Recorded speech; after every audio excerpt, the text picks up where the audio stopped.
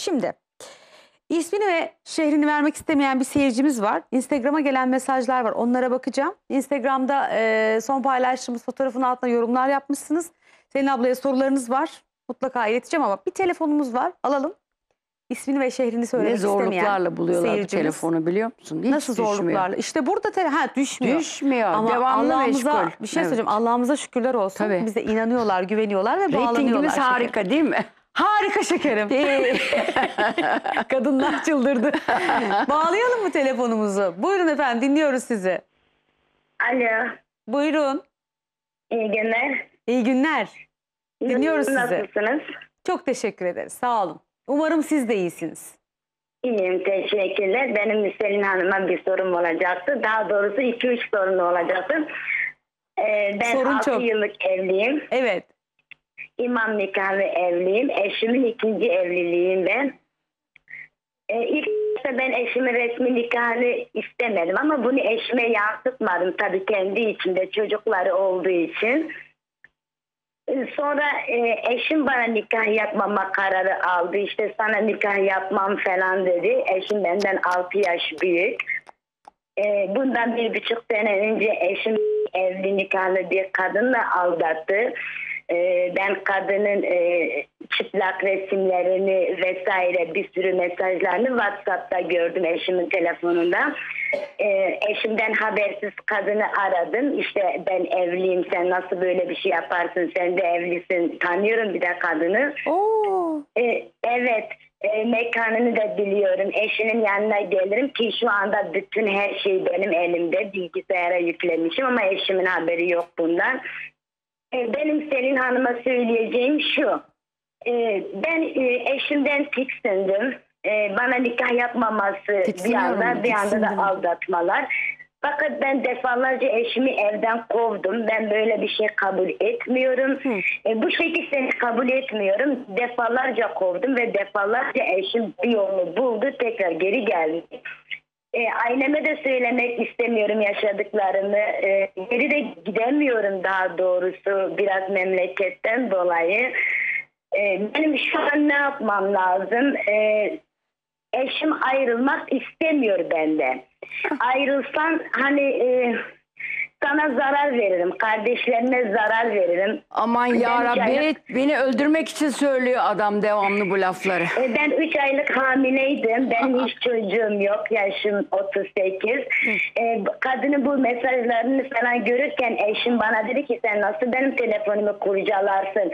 Çok dayak yedim. Bir hafta sonra çocuğumu kaybettim. Ah, ah, Psikolojim ah, ah. bozuldu. Şu an çaresizliğim şu. E, eşim e, aldatma konusunda, dayak şiddet konusunda e, şu an bir şey yok. Bir şey de görmüyorum. E, fakat e, hani çok özür dileyerekten hani geliyor ama diyorum ki ben sana asla karılık yapmam. Benden bir şey bekleme. Bana bir şey veriyorsun ki bende bir şey bekleme. E, nikahımı yapmayana kadar kendine çeki düzen, düzen vermeyene kadar asla sana karılık yapmam diyorum. Doğru mu yapıyorum, e, kötü mü yapıyorum bilmiyorum. Ben de eşimi çok seviyorum. Ayrılmak da istemiyorum. Yani bütün bunlara rağmen e, eşimden ayrılmak istemiyorum. E, ayrılırsam e, sanki yapamam. Çok denedim ama e, bilmiyorum psikolojim de bozuldu. Aynı zamanda çok tedavi gördüm. Hastaneye olsun. beni. Hastaneye bile. Şu anlık durumum bundan Peki, ibaret. Ee, çok geçmiş sadece olsun. Selin Hanım'a şunu söylemek istiyorum. Ne yapmam lazım? Hani kesinlikle kendime güvenmiyorum bırakmak açısından. Bunu net Niye parasal istiyorum. parasal açıdan mı sıkıntın var? E, maddi olarak sıkıntım var Nur Hanım. Benim e, ilk e, yani ilk evlendiğimde e, kendime dükkan açtım, araba aldım. Yanlış ticaret yaptım. Orada e, bir sıkıntı yaşadı. Hani biraz borçlandım ama ben yaptım. Eşimle evliyken ama akrabalarımla aramda ben yaptım. E, biraz o sıkıntım olduğu için evet biraz e, güçsüz olmuşum diyebilirim. Yani, Yani sırf maddi güçten dolayı mı yoksa yani Sevmek. yani e, Ben yok, eşime bana maddi- yaptığı her şeye rağmen hala aşığım ve ayrılmak istemiyorum mu diyorsun? Yani biraz biraz e, maddi sıkıntım olduğu için tabii bunu gidermiyor yani günlük ev geçimi hariç sıkıntılarımı gidermiyor. E, biraz da evet eşimi seviyorum yani bir türlü ben bunu kendime bu lafı geçiremiyorum. Ben Peki, bu adamsız peki bir hayat- eşiniz size yani bir kere siz kanunlar önünde Evli değilsin. şu anda evli değilsiniz. Bir. Boş ol, Resmi boş ol, nikahınız boş ol yok. dersin ona. Üç tane boş yolla. Haydi bakalım güle güle dersin. Çocuğun var mı kızım? Yok. Çö- Yok. Dayak yiyor musun? Evet. Üstüne hem evli bir adamla yaşıyorsun. Senin de kulağını çekiyorum. Hem de adam kendi resmi eşi sen artı bir de evli bir başka kadınla fingir diyor. Ben Hayır. böyle böyle bir Selin adamı Hanım, Selin Ha. Hanım çok özür dileyerekten evet Çok özür dileyerekten orayı düzeltelim. Ben eşimle tanışırken altı buçuk yıl bir eşimden resmi olarak ayrılmıştık. Çok sen özür ayrıldın. dileyerekten- O ama evliydi. Hayır. Hayır. Hayır. Ha, ben ayrıldı, hayır. Eşimle ev- Tabii, evlendim. tamam. Biz Fakat özür ben diliyoruz. Orada eşimle- küçük bir yanlış Neymiş anlaşılma şimdi? oldu. Evli değil adam. Hayır. Hayır, Adam ben adam evli bekar- değil ama adam hanımefendiye resmi nikah yapmıyor. Tamam şimdi oraya Evet. geliyorum. O zaman aldım geri sözlerimi. Neyse böyle olanlar da benden selam olsun. Şimdi se- sana bir evli resmi bir statü vermeyen adam seni demek ki evlenmeye layık görmüyor demektir. Bir. İkincisi Allah korusun diyelim ki bu adam öldü. Öldüğü zaman sana bir kuruş bile hakkı geçmez. Vermez kimse çünkü sen evli değilsin. Resmi karısı olsaydı resmi karısı alırdı. Ama sen sana bir şey gelmez. İk, üç, ee, ne olursa olsun bir başka kadınla da aynı anda şu anda görüşüyor. O kadının evli olması beni ayrıca çok çok çok çok midemi bulandırıyor. Ama sana resmen ihanet ediyor. Yani bir tarafta ayrılmış, oradan çocukları var, o yavrucaklar gitti güme. Artı sana haksızlık. Üstüne üstlük de bu evli olup da kendi hayatını, çoluğunu, çocuğunu düşünmeyen kadına şaşıyorum. Bunu nasıl yapıyor? Bunların hepsinin üstüne böyle bir adamla senin yerinde olsam devam etmem. Senin git çalış çocuğum bak iş kurup araba alacak kadar kendinden emin kuvvetli bir kadınsın. O halde senin ihtiyacın yok. Çok çok affedersin. Ne tahsil ettin hiçbirini bilmiyorum. Genel konuşuyorum. Bir yerde bulaşıkçılık da yapabilirsin, çaycılık yapabilirsin, yemek yaparsın, bir takım ev, evlere gidebilirsin ya da daha üst seviyede sen yalnız paradan bahset. E, ne bileyim 10 bin lira demiyorum, 3 bin lira veren seni geçindirecek kadar bir para sağlar Şimdi bir sana. soru Böyle sordu bir adamı size. Dedi şey ki yapma. ben bu adama şunu söylüyorum. Bana dini nikah yaptın Evet. ama resmi nikahlı olduğun zaman Tamam. Ben de diyorum ki kanun önünde tamam Hakların sana oluyor. ne diyor? Ayrılırsan şöyle yaparım, böyle yaparım. hayır eğer diyor ben diyor sana kadınlık yapmayacağım bana resmi nikah yapana kadar doğru yolda mıyım devam edeyim mi diyor. Valla işte seni acıtır canını, dayak atar. Sonra ondan ayrıldığını farz ediyorum. Kafadan kontaksa birisi kalkıyor dışarılarda yakalıyor. Ya dövüyor ya öldürüyor. Yani kimin ne yaptığı belli değil ki. Bela bir tane değil ki kaç tane geliyor. Sen ama burası dediğim gibi her zaman söylediğim gibi muz cumhuriyeti değil. Ayrıca senin üzerinde şu kadar bir hakkı dahi yok. Evi geçindiriyor mu? Sana para veriyor mu? Onları çeksin. Vermesin. istemiyoruz. Ama ne yapacaksın? Onun yerine kendin iş arayacaksın. İş bulacaksın, çalışacaksın. İyi ki çocuğu yok, çocuğun yok. Ama eğer çocuğun olsaydı yani olduğu zaman seni dövdüğü için çocuğunu düşürdün.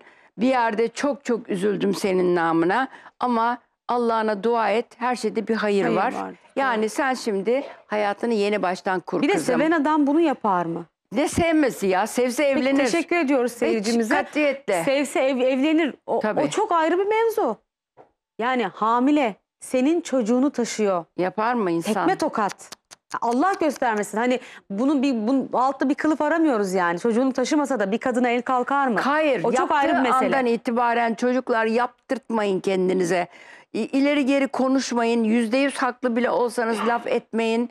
Fakat samimi olarak söylüyorum. Dini nikahla sizi alan kişiye asla karılık yapmayın. Bu bir. Baştan kabul etmeyin.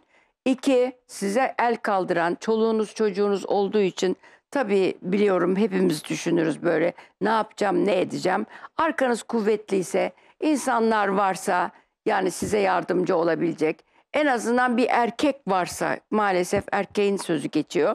Kadın olduğumuz seni par prensip şey yapmıyorlar hesaba katmıyorlar. Kendinizi koruyun. Kendinize yeni bir hayat kurun.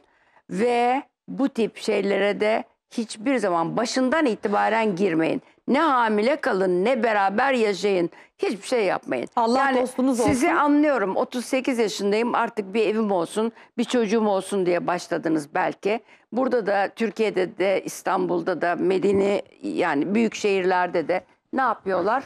İşte evlenme benimle ama bir çocuğum olsun senden yeter diyorlar. Yapmayın hanımlar. Yapmayın. Bu sizin kendinize yaptığınız. Evet. Ayağınızı kurşunluyorsunuz. O çocuk yani bir köpek yavrusu mu? Bir kedi yavrusu mu? Babasız büyüyebilir mi? Katiyen hayır. Bunu seneler evvel Amerika'da da bir sürü artistler böyle kendini bilmez kadınlar. Ben eee, babasız tek eee, şey olarak tek anne baba olarak anne de olurum baba da olurum böyle büyütürüm. Hayır eksik yapıyorsunuz. Erkek çocuksa baba örneği vermeden büyüyor. Kız çocuksa e, korunamıyor. İleride sen kendini mi koruyacaksın, kızını mı koruyacaksın? Çok özür dilerim. Bunların hiçbirine katılmıyorum ama bunlar Türkiye'nin gerçekleri. Daha doğrusu dünyanın gerçekleri. Yani Japonlar, Amerikalılar görmedim Japonları ama yani Amerika'yı gördüm, İsviçre'yi gördüm yaşamak bakımından. Her yer aynı. Kapat gözlerini. Türk mü konuşuyor? Bu memlekettekiler mi? Hele bir tanesi İsveç asıllı Amerikalı. Hani ailesi bilmem nesi hani biliriz ya bunlar daha medenidir şudur. Kapat gözünü valla söylemek istemeyeceğim Türkiye'nin en kırsal yerlerinden konuşan birisi gibi. Onun için insanlar değişmiyor. Yani memleket neresi olursa olsun yaşanan duygular hep İnsan aynı. hep aynı. Bak bir sürü bir sürü bir sürü kişiler geliyor bana. Gelen kişiler ben asla karşı değilim. Sakın sakın yanlış anlamayın. Sakın yanlış anlamayın beni. Saçı kapalı. Benim için en ufak bir şey yok. Fakat konuşurken nasıl konuşuyor biliyor musunuz? Ka- saçını açmış diyelim. Göya hani bazı kesimlere göre daha medeni olan diyelim ile aynı hatta ondan daha bile iyi. Ben saçı kapalı diye aklı kıt denen diyen kişilere buradan katiyetle hayır diyorum. Ve şunu söylüyorum ki insan her yerde aynı insan, aynı ızdırabı çekiyor, aynı sıkıntıyı yaşıyor, aynı duyguları paylaşıyor. Eğer bütün dünya aynı lisanı konuşsaydı herkes anlayacaktı. Değil mi? Hatta bir şey daha ekleyeceğim müsaade edersen.